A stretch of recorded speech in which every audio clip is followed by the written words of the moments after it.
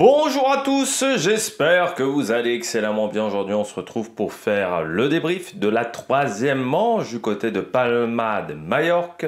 Aujourd'hui, c'était le Trofeo Serra de Tramuntana. On va revenir un petit peu sur ce qui s'est passé pour cette manche qui est la deuxième, je dirais la, plus compliquée. On va dire qu'il y a quand même deux courses qui sont pour le sprint, jeudi et dimanche, parce que dimanche c'est très plat dans le final. Il y a trois épreuves qui sont plus vallonnées euh, dans ces euh, challenges de Majorque. Euh, et là, donc, c'était la deuxième journée euh, pour les grimpeurs du côté du challenge de Majorque. J'ai perdu mon stylo entre mes cuisses. Euh, et donc on va voir un petit peu ce qui s'est passé aujourd'hui du côté du Trofeo Serra d'une Tramuntana avec bien entendu les tops et les flops comme d'habitude. N'hésitez pas à vous abonner à la chaîne, à réagir dans les commentaires, à mettre un pouce bleu, à partager la vidéo sur les réseaux sociaux, notamment auprès de vos proches. Si vous pensez que ça peut les intéresser, dans les commentaires, n'hésitez pas à me dire qui vous a plu, qui vous a déçu. EPS 2.0, c'est sur les plateformes de podcast Amazon, Deezer, Spotify, Google, TikTok, le déroulé des compétitions en direct, notamment les compétitions euh, de cyclisme en ce moment, de biathlon. Je ne sais pas si vous avez vu, hein, on je regarde pas les championnats d'Europe hein, en ce moment, mais euh, il y a eu une belle victoire euh, de d'Antonin Guigona, qui est devenu champion d'Europe de sprint chez les garçons au championnat d'Europe, lui qui, qui, ne participe pas au championnat du monde. On va peut-être se voilà, réfléchir à deux fois sur la possibilité d'être au championnat du monde. Et puis quand vous abonnez à la chaîne, vous pouvez mettre la petite cloche, comme ça vous êtes au courant des dernières vidéos qui sortent sur la chaîne. Et puis enfin, euh, vous pouvez faire un super thanks si vous avez les moyens, et seulement si vous avez les moyens et que vous voulez soutenir mon travail. On commence tout de suite avec ce trophéo Serra de Tramuntana qui a été assez linéaire. Euh, assez linéaire dans son final, dans cette fin de course. Euh, alors il faut savoir qu'il y a une trentaine de kilomètres qui ont été diffusés à la télévision, parce que là encore c'est arrivé assez vite, ça arrivé à 45.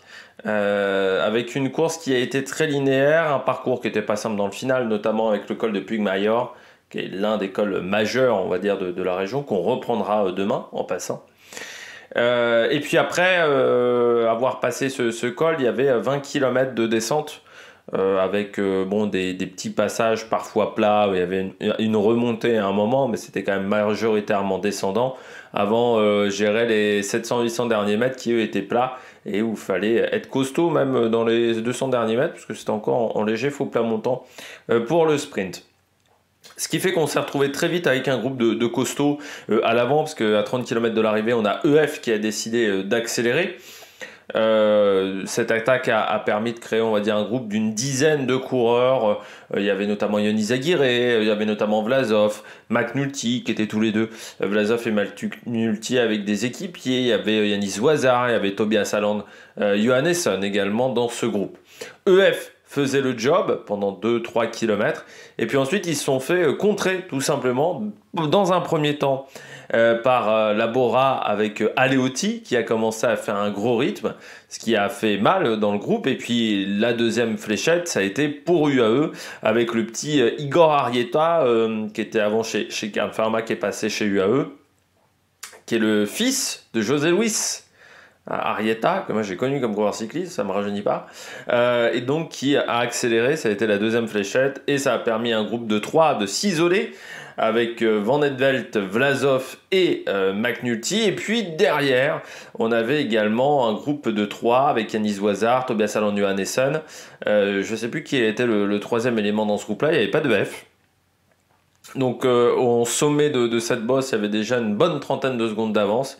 Et puis assez vite, bah, l'écart a, continué à augmenter dans, la descente, avec un groupe derrière de trois qui n'arrivait pas à s'entendre. Yanis Wazar part à 5 km de l'arrivée.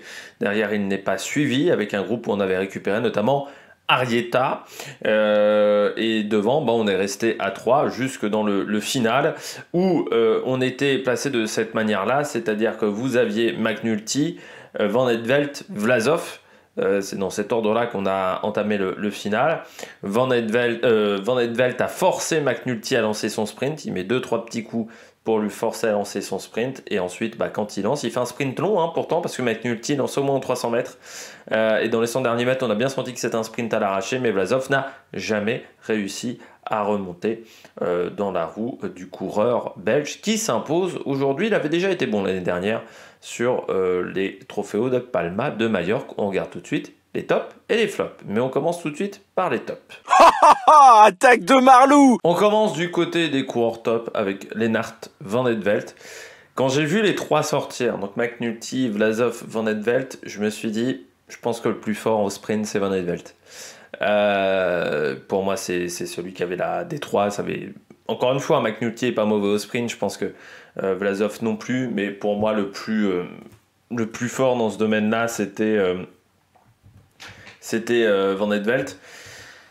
Et il fait un bon sprint, Van Edvelt. C'est-à-dire que voilà, il accélère au bon moment. Euh, et il, se place déjà en deuxième position. Ça, c'est la grande intelligence euh, de Van Edveld, c'est d'être en deuxième position. S'il est dans la route Vlasov, je suis pas sûr qu'il gagne le sprint parce qu'il faut remonter deux mecs devant et, je pense que c'est très compliqué dans ce, à ce moment-là. Deuxième force, c'est d'avoir forcé McNulty à lancer le sprint. Parce que quand on se retrouve dans ce genre de situation, euh, si le mec devant vous ne lance pas, Vlasov aurait pu lancer avant les deux autres, ce qui aurait surpris Van Edvelt et il serait retrouvé bloqué entre euh, McNulty et Vlasov et il n'aurait jamais trouvé l'ouverture pour dépasser Vlasov, par exemple. Sauf qu'il gère très très bien son dernier kilomètre. Parce qu'il fait forcer McNulty à lancer le sprint, parce que vous voyez, il se met presque au milieu de sa roue, euh, à une demi-roue derrière il se met au milieu de sa roue arrière. À un moment, tu vois, il se décale un peu et il fait le forcing pour qu'il lance le sprint. Vraiment, il fait le forcing à deux reprises, tu vois, pour que McNulty il force le sprint et il le lance à 300 mètres, 325 mètres. McNulty pouvait pas gagner aujourd'hui en lançant un sprint à 325 mètres en étant en première position, c'est impossible de gagner. La seule solution pour gagner dans ce cas-là, du côté de McNulty, ça aurait été de lancer extrêmement tard. C'est-à-dire de lancer le plus tard possible, parce que plus tu lances tard, moins tes adversaires ont la capacité de te remonter, parce que plus le sprint est court. Euh, mais là, Van Edvelt, il a très très bien joué euh, le coup. Et puis après, derrière, bah, il savait que face à Vlasov, il avait peut-être un peu une, une, Enfin, qu'il avait un petit avantage. Puis surtout, encore une fois, Vlasov, lui, a dû dépasser deux concurrents. C'est-à-dire qu'il a dû passer Van Edvelt, mais il, a dû, il, devait dépasser également euh, McNulty. Alors, il a réussi à dépasser McNulty, euh, mais pour aller chercher euh, euh, Van Edveld, c'était impossible. Surtout que Van Edveld a été intelligent. Il a fait un sprint décollé aujourd'hui à Van Edveld. Alors je ne sais pas si c'était vraiment son envie au départ aussi c'est comment ça s'est déroulé au niveau du sprint que ça s'est passé de cette manière. Mais Van Edveld, il fait un sprint décollé, c'est-à-dire que sur les, les 20-30 premiers mètres, il n'est pas dans la roue. Euh, de McNulty et ce qui lui permet d'avoir un petit peu d'abri à ce moment-là. Quand il décale, il est déjà à pleine vitesse, il est à pleine bourre. Alors encore une fois, sur les 100 derniers mètres, c'est compliqué, mais pour Vlasov aussi. Euh, c'est-à-dire sur les 100 derniers mètres, on sent que Van Edvelt, ça commence à être un petit peu à l'arracher, il y a la tête qui bouge dans tous les sens. Mais il arrive à tenir son petit vélo d'avance sur Vlasov et le vélo d'avance est dû à du placement. Donc bien joué de la part de Neder Van Edvelt. Première victoire de la saison pour la, l'Auto Destiny et pour le, coureur belge. Je pense qu'on va le revoir à plusieurs reprises cette saison. Van qui avait déjà bien démarré euh, la saison 2023. Euh, euh, si on s'en souvient, on l'avait vu déjà à Palma de, de Majorque l'année dernière. si on regarde un petit peu son début de saison l'année dernière, il avait fait troisième et bah, au Trofeo Andrach, deuxième à Serra de Tramuntana, euh, par exemple, et euh, il avait pris une belle place, c'était sur le Tour de Catalogne ensuite, et, euh, ça, avait, ça avait bien marché pour lui. Donc on voit que c'est un coureur qui sait faire, qui aime Palma de, de Majorque. Il avait fait que des résultats dans le top 30. Il avait fait les 5 courses à Palma de Majorque, il avait fait à chaque fois top 30. ça montre que voilà, le mois de janvier pour lui, c'est pas un problème. donc là, bah, il repart sur des, gros, résultats aussi. Euh, mais il démarre toujours bien, hein, parce que même euh, quand il était euh, en 2022, donc avec U23, bah, il avait fait le tour de Normandie, c'était sa première course de la saison, où il avait été bon. Donc c'est un coureur voilà, qui, est, performant, coureur qui avait remporté le Giro, le Baby Giro, qui avait remporté, enfin non, qui avait fini deuxième du Baby Giro derrière Léo Hetter, qui a depuis un peu disparu, Léo Hetter, qui et maintenant chez Ineos depuis l'année dernière, mais c'est vrai que c'est un petit peu compliqué pour Léo Hetter en termes de résultats euh, jusqu'à maintenant. Euh, et il avait fini devant Lenny Martinez et devant le Cerf. Voilà, par exemple, des jeunes coureurs que l'on voit aujourd'hui et Robin Thompson également, qui était chez, dans la Conti Groupama et qui fait sa deuxième saison du côté de, de la Groupama FDJ après une première année bon, qui n'a pas été sensationnelle en termes de, de, résultats de la part du néo-zélandais. On passe au deuxième coureur top. Alors j'ai pas mis McNulty, même si bon, McNulty c'est pas mal aujourd'hui. Je trouve qu'il fait peu d'erreurs. McNulty, encore une fois, c'est de lancer trop tôt, mais Van Edveld lui force bien la main quand même. Euh, non, bah, j'ai mis deuxième coureur top euh, Vlasov. Pourquoi Vlasov? Parce que je vais avoir des choses un petit peu à dire sur Vlasov. Euh, bon, aujourd'hui, il fait une, belle course. Encore une fois, c'est sur le placement du sprint où il fait une erreur. Voilà, il se met dans la route Van Edveld alors que c'était peut-être pas l'idée du siècle. il fallait peut-être se mettre directement dans la route de McNulty. Surtout que McNulty, on sait que c'est un coureur puissant. Donc, c'est pas une mauvaise idée de se mettre dans sa roue au niveau du sprint. Euh, donc Vlasov aurait peut-être dû tenter le coup. Après, moi je pense que déjà Vlasov il fait une erreur, peut-être aussi parce que la veille il a été un petit peu trop impétueux. C'est-à-dire que euh, hier, euh, enfin non, il y a deux jours, pardon, mercredi, il, a lancé, il a lancé une attaque à quatre bandes de l'arrivée quand McNulty a ses crampes, et ensuite il se fait contrer par Simon Kerr. Donc ça déjà c'était peut-être pas l'idée du siècle. Et ce qui fait qu'il s'est peut-être un peu trop retenu aujourd'hui pour pas se planter. Et bah, c'était peut-être pas l'idée du siècle. Il aurait peut-être fallu tenter, forcer un peu plus pour rester dans la roue euh, de McNulty et, passer euh, devant, euh, devant Van Envelt. Donc, ça, je pense, c'est aussi parce qu'il a peut-être manqué à un moment ce courage de vouloir tout perdre. mais parce que déjà, voilà, encore une fois, mercredi, c'était un petit peu planté en termes de stratégie. Mais après son interview, Vlasov, bon, je trouve que ça, c'est pas très intelligent de sa part parce qu'il dit bah, pourquoi l'arrivée était pas au sommet? C'était pas intéressant pour les gens de voir 20 km de descente euh, on peut pas faire que des arrivées au sommet au bout d'un moment dans le cyclisme savoir descendre ça fait partie des prérogatives euh, savoir être à l'aise techniquement sur un vélo ça fait partie des prérogatives pour être un bon coureur cycliste c'est le problème notamment d'un Jevine qui n'est pas assez à l'aise sur un vélo. Savoir descendre euh, correctement et, ne pas se vautrer à chaque virage, ça fait partie euh, du bon cycliste. Comment euh, s'impose sur le Milan-San Remo il y a deux ans C'est dans la descente. Parce qu'il fait une descente, euh, tombe ouvert, il prend des risques. Mais il fait une descente où il ne se met pas par terre, avec sa tige de salle télescopique. Moi, je suis pas pour qu'on ait que des arrivées au sommet. Euh, je sais que c'est par exemple un peu ce que voudrait Pierre Roland ou, d'autres. Pour moi, savoir descendre, c'est important. Alors certains vont dire, c'est l'effet un petit peu euh, Gino Meder. Moi, pour moi, Gino Meder, il meurt surtout parce que la descente était mal protégée. Je pense que ça serait arrivé aussi si la descente s'était retrouvée en milieu, enfin à 50 bornes de l'arrivée, et qu'il y avait encore un col derrière parce que la, descente était mal, euh, enfin ce virage-là était mal répertorié. Vraiment. Et euh, donc, euh, pour un peloton, ça aurait été compliqué, même à 50 bornes de l'arrivée, même à 80 bornes de l'arrivée, ça aurait été compliqué, parce que vraiment, le, virage était se refermait et n'était pas indiqué. Il n'y avait pas un signal sonore. Ça a manqué de sécurité, notamment au niveau du pierrier, donc c'était très compliqué. J'ai même vu qu'il y a eu une interview de Quinn Simons, alors, je n'ai pas lu euh, l'interview de Quinn Simon, mais je vous le dis, euh, qui parle de. Pour lui, ça qui disait que pour lui, ça a été très compliqué d'avoir de, nouveau envie de faire du vélo, euh, parce qu'il faisait partie de la chute avec Gino Meder. Quinn Simon disait que ouais, lui, il a vu Gino Meder mort, et il a dit que ça a été très compliqué de s'enlever ces images-là de, la tête. Ça, voilà, ça a été un choc terrible pour Quinn Simon. Euh, mais ouais, du côté de Vlasov, euh, non, je suis pas d'accord avec ses propos. Pour moi, l'arrivée en haut de la montée, ça aurait fait quoi Est-ce qu'il aurait réussi à gagner aujourd'hui s'il arrivait en haut de la montée? Peut-être pas plus. Pour moi, les arrivées en descente, ça doit exister. Alors, je dis pas qu'il faut en avoir 40 par 100 rang parce que euh, à une époque, on a vu une surenchère également d'arrivées en descente. Bon, en avoir une fois par grand tour, une fois de temps en temps, bah oui, parce que pour moi, euh, arriver en descente, ça fait partie euh, de, enfin, savoir virer en descente, ça fait partie des choses qu'il faut faire. Et en plus, il est un peu malhonnête Vlasov parce que le dernier kilomètre, il n'est pas en descente. Voilà, dans le dernier kilomètre, tu as au moins 700 mètres de plat.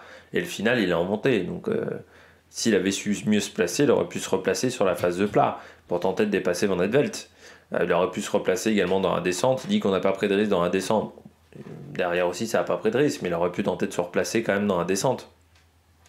Pour être encore une fois dans la roue de, de McNulty. Donc, et pour pas arriver en troisième position à la, manche du sprint. Donc je pense que c'est plus ça qui fait qui qu'il perd la course que le fait qu'il y ait une arrivée en descente. Je termine avec le, quatrième de la course. Je trouve que c'est une bonne nouvelle. Yanis euh, Voisard, très bonne journée de Yanis. Alors, lui, c'est déplumé aujourd'hui. Hein. Euh, c'est-à-dire qu'il a. Ça n'a pas été facile. C'était une journée dure pour Yanis Voisard. Euh, parce que je peux te dire qu'il était dans la roue, notamment de Tobias Aland, Johannesson dans la montée. Je sais plus qui était. C'était Van Wilder qui était l'autre élément dans ce, à ce moment-là. Et je peux te dire que Wazar, il n'emmenait pas large à ce moment-là. Euh, c'était très compliqué pour lui. Mais il a fait vraiment une belle étape. Une belle journée. Euh, lui, il, ferait les, fait les 5 hein, aussi. Euh, course à, Palma de, de, Majorque. Puis moi, je voulais bien le voir, Yanis Wazar, parce que c'est pas un coureur que j'ai vu énormément l'année dernière. Du fait qu'il a fait quand même pas mal de courses que je n'ai pas suivies. bon, le Tour de Suisse, il l'a fait euh, moi, je l'ai suivi. Tour de Romandie aussi. Euh, oui, j'ai son souvenir au Tour de Sicile, euh, à Guiaret. Il avait fait une pas mauvaise étape. il y a quand même pas mal de courses qu'il a effectuées que je, que je n'ai pas vu, notamment sur la deuxième partie de saison. J'ai pas fait le Tour de Pologne. Québec-Montréal, j'ai pas fait. J'ai pas fait le Tour de Gandhi également où euh, bah, il a obtenu quand même quelques résultats, notamment en Pologne, il fait 16. Et je voulais voir ce que ça donnait à Yannis Oisard, qui a 25 ans, qui reste un coureur qui a roulé pendant très longtemps en continental chez Swiss Racing Academy. Je voulais voir ce que ça pouvait donner sur une course avec une belle densité. Bah, C'était pas mal quand même de la part du, grimpeur suisse, si j'ai senti quand même que sur la fin de course, il fallait que ça se termine hein, quand même la montée derrière euh, Van Wilder et Tobias Alon et Anessan. Et puis après, bah, il a réussi à, être intelligent, à être finaux, à profiter de la désorganisation dans le groupe de, chasse pour prendre ses 10-15 secondes d'avance et pour aller chercher sa quatrième place. Bon résultat quand même de Tudor, hier deuxième, là aujourd'hui quatrième du côté de Tudor. On fait une belle semaine du côté de, l'équipe suisse euh, qui euh, l'année dernière, euh, j'ai pas souvenir, je crois qu'ils n'avaient pas dû faire ces courses-là l'année dernière. Euh, et puis, Trofeo Calvia, Merhofer qui avait fini 7 il était dans le, dans le sprint du peloton, il avait pris une belle place du côté du, du sprint du peloton. Parce que c'est vrai que l'année dernière, tu dors, ah, ils n'avaient pas dû les faire. Je regardais avec Yanis Ouazard, mais j'ai pas souvenir euh, qu'ils étaient, ouais, qu'ils étaient venus sur ces courses-là. Donc pour eux, c'est une première, je pense, et bah, c'est plutôt une réussite. Voilà, tout simplement. Si je regarde 2023, euh, je vais peut-être pas avoir, mais ouais, j'ai pas souvenir qu'ils avaient eu des grands résultats euh, parce qu'ils n'avaient pas dû participer à cette course-là. On regarde tout de suite les bonnets d'âne. On passe euh, au bonnet d'âne du jour. Et du côté des bonnets d'âne, on commence avec la EF, Education Easy Post. C'est vrai qu'autant euh, mercredi ça s'est bien passé pour eux avec Simon Kerr, autant aujourd'hui ils ont voulu prendre la course en main, notamment en lançant un, grand mouvement à 30 km de l'arrivée. Sauf que bah ça s'est pas passé aussi bien que prévu. Euh, on va pas se mentir parce que bah ils étaient en surnombre dans ce groupe. Et pourtant, à l'arrivée, le premier coureur est seulement sixième. Euh, on a du mal à comprendre ce qui s'est passé. Alors, est-ce que, notamment Rui Costa, qui je pense était le, le leader euh, dans ce, groupe euh, d'échappés n'était pas en grande condition physique. Mais c'est vrai que c'est surprenant que le premier coureur EF, ça sera Lucas Nerukar, qui est un Britannique, alors qu'on s'attendait plutôt à voir Rui Costa. On a beaucoup roulé, notamment Simon Carr, Jan Shaw, qui ont fait un, gros boulot dans le, groupe de, de poursuivants pour au final bah, que t'es qu'un seul coureur dans le top 10. Et surtout quand tu prends autant en main de course, bah, tu t'attends au moins à être sur le podium aujourd'hui. Euh, et bah, aujourd'hui, tu n'es pas du tout sur le podium parce que quand la course est accélérée, toi, tu n'as pas été en mesure de suivre. Donc c'est dommage du côté de F euh, parce que c'est vrai qu'on s'attendait peut-être un peu mieux de, de Henri Costa aujourd'hui. Surtout que l'année dernière, ça s'était bien passé pour lui sur ses courses de début de saison, qu'il avait fini euh, sixième au Trofeo Calvia, parce qu'autant au Trofeo Calvia, ils avaient fait une grande réussite. Euh, il s'était même imposé l'année dernière, euh, en 2023, au Trofeo Calvia, mais c'est vrai qu'il avait fait un gros début de saison. Là, ça n'a pas marché aussi bien que pour lui, pour Rui Costa, ça a été plus compliqué pour le coureur portugais. Donc c'est dommage voilà, que ça se soit pas bien passé du côté de F parce qu'ils avaient fait le gros job. Ils avaient vraiment dynamité la course, mais bon, ils se sont fait bien contrer par Leotti euh, notamment. Et après, derrière, ça a été difficile. Euh, on parle de Nukas Nerukar, qui est donc chez UF Education Easy Post, qui était l'année dernière chez Trinity. Vainqueur d'une étape sur le Giro Next Gen, notamment euh, ce jeune coureur. il a fini également troisième de l'étape de Evo les Bains. sur le Tour de l'Avenir, 9e du Tour de Lombardie, moins de 23 ans, 9e du Tour de République tchèque aussi donc c'est qu'un coureur talentueux et encore un coureur de la Trinity Racing qu'on voit après hier Luc Lamparty et euh, Paul Magnier. Euh, cette formation qui euh, l'année dernière avait quand même pas mal de coureurs intéressants. je ne sais pas si ça sera encore le cas en, 2024 dans cet effectif, mais c'est vrai que c'est quand même une équipe de deuxième division qui a beaucoup de, jeunes coureurs et qui n'hésite pas voilà, à, former euh, des coureurs talentueux. Il y a notamment euh, Hugo Fabrice, euh, et Adrien Boischi dans cette formation en cette année 2024. Adrien Boischi qui était déjà là l'année dernière et également Joseph Pitcock dans cet effectif qui, voilà, qui démarrera sa saison un peu plus tard dans l'année. On poursuit Clément euh, Champoussin. Ouais, bah Clément Champoussin, euh, déjà mercredi, bon, euh, on l'a peu vu. Aujourd'hui, il a été aussi très très discret, Clément Champoussin. c'est quand même un style de course normalement qui doit lui convenir. Il n'y a pas non plus une opposition si impressionnante que ça. Donc normalement, Clément Champoussin doit être un peu plus haut, je pense, dans, la hiérarchie. il sort en plus d'une année 2024, euh, de, 2023, pardon, je vais y arriver avec les dates, c'est pas facile, qui était déjà pas exceptionnel pour Clément Champoussin en termes de, résultats. Bon, et voilà, il a remporté une étape de l'Arctic Race of Norway, mais euh, sinon, ça a été euh, très compliqué pour lui pendant une grande partie de, la saison. Donc, c'est vrai qu'on attendait en cette année 2024 qu'il reparte de l'avant, qu'il remette un coup de collier. Euh, au niveau des résultats. Bah, sauf que là aujourd'hui ça s'est pas du tout bien passé et euh, j'ai envie de dire qu'il avait déjà abandonné le trophée au Calvia. On attend mieux euh, d'un coureur comme Clément Champoussin qui a rejoint Arkea. voilà, on attendait de lui des gros résultats chez Arkea. Hein. Quand même Clément Champoussin. particularité aussi aujourd'hui, il finit avec Paul Magnier. Hein. pour vous dire qu'il finit quand même très très loin, il finit 112e donc avec Paul Magnier. Euh, avec euh, euh, également Evan Costu, et finit dans un groupe qui est seulement deux minutes devant le groupe Arnaud Desmar. donc voilà, c'est là où il y a un problème, parce que Arnaud Desmar aujourd'hui, on savait qu'il n'allait pas jouer la gagne, donc c'est un petit peu un souci du côté du coureur français. c'est pas l'idéal, quoi. Voilà, deux minutes devant Arnaud Desmar, et pourtant Arnaud Desmar, en plus, il a ramené pas mal de bidons en début de, journée pour ses leaders de cette journée. On regarde euh, tout de suite le dernier coureur euh, flop, c'est Maori euh, Van Sevenant. Maori Van Sevenant, pas top top de la part du coureur belge. C'est vrai qu'on s'attendait à un petit peu mieux aujourd'hui pour Maori Van Sevenant. c'est compliqué quand même pour Maori aujourd'hui. C'est un coureur qu'on voyait très performant il y a deux ans. on se souvient tous de son c'était euh, de sa, course, sa flèche wallonne, euh, où il avait été euh, très fort. c'était il, y a quelques années, c'était sa première année chez les pros, je crois, à ce moment-là, du côté de, de Mauri Van Sevenant. Alors c'est vrai qu'aujourd'hui, on ne s'attendait pas forcément à ce qu'il joue la gagne. On se disait, bon, ça allait plus être Ilan Van Wilder, sauf que Ilan Van Wilder, bah, il s'est retrouvé quand même très vite seul. Très vite, il avait personne autour de lui. Et Mauri Van Sevenant, on se souvient quand même que voilà, quand euh, c'est un mec qui a déjà eu des, résultats. Deuxième de la Faune Ardèche Classique, par exemple, si on regarde en début de saison. Euh, il a remporté également le GP Industria et, et Artigianato.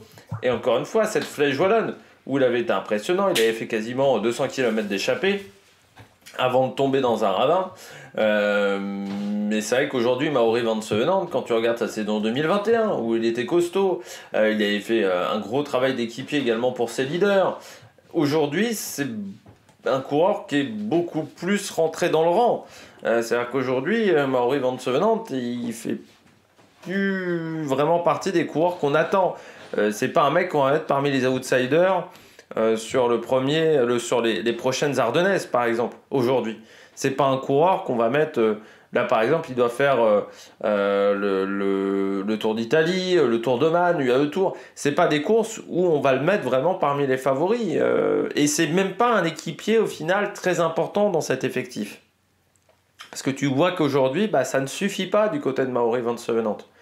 Et je me dis que c'est quand même une énigme un peu. Hein. On parle de, certains coureurs, on, a du mal à comprendre la manière dont évolue leur carrière. Bah, Maori Van Sevenant, c'est un petit peu ça. Parce que euh, quand il arrive chez Quickstep, bon, il arrive, euh, je dirais pas sur la pointe des pieds, mais pas loin. Il arrive sur une saison qui est un petit peu atypique en plus euh, avec la saison Covid. Donc c'était une saison qui était très particulière. 2021, tu vois, il confirme, ça devient un équipier important. 2022, tu vois, il y a une petite évolution. Je dirais qu'il stabilise son niveau et je dirais que c'est plutôt, ça fait partie des, des bons coureurs du peloton. 2023, déjà en termes de résultats, il n'y a pas grand-chose, mais son impact dans l'effectif n'a pas été énorme non plus. Alors est-ce qu'il a eu du mal à gérer aussi ce projet de fusion? Parce qu'il y a pas mal de coureurs qui ont eu du mal à, gérer cette situation. Euh, mais je pense surtout que du côté de Maori euh, Van Sevenant, en ce moment, euh, il y a des petits soucis de jambes. Le niveau est, pas suffisant. Alors est-ce que c'est dû à sa technique sur le vélo, à ce déhanché particulier du côté de son coup de pédale qui est peut-être un peu trop énergivore, sauf qu'avant ça lui posait pas problème. Alors est-ce que ça lui pose vraiment un plus gros problème aujourd'hui? Ou est-ce que tout simplement bah, les jambes ne, sont pas là et que le niveau qu'on pensait que ce coureur avait n'est peut-être pas le, son véritable niveau. Peut-être qu'il a un peu surperformé sur ses premières années et qu'aujourd'hui il rentre dans le rang. Mais c'est dommage euh, pour la Soudal Quickstep parce qu'il a quand même un contrat jusqu'en 2026. Bon, ça serait bien de, retrouver un petit peu euh, des résultats euh, du côté de Mauré Van Et c'est vrai qu'un bon début de saison aurait peut-être aidé. Et ben aujourd'hui, il est un petit peu passé à côté aujourd'hui. On passe au, à la journée de, de, demain, désormais. Alors demain, on attaque le Trofeo Polanza euh, Course, on va repasser encore par le col euh, de Puigmayor.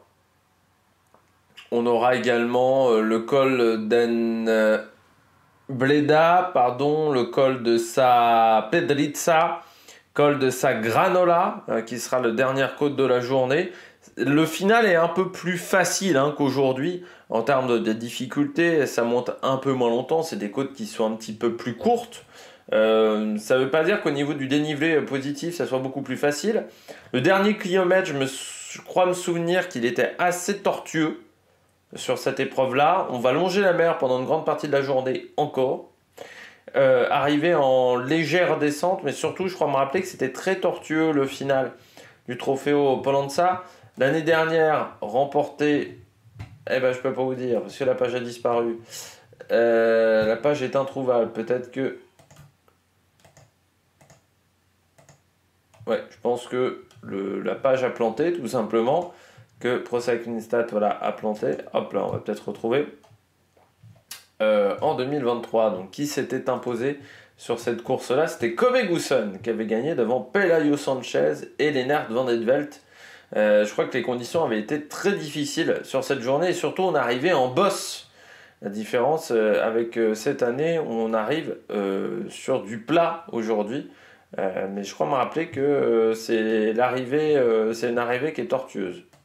Voilà. Donc demain, il y aura quand même, en termes de dénivelé positif, on peut regarder ça.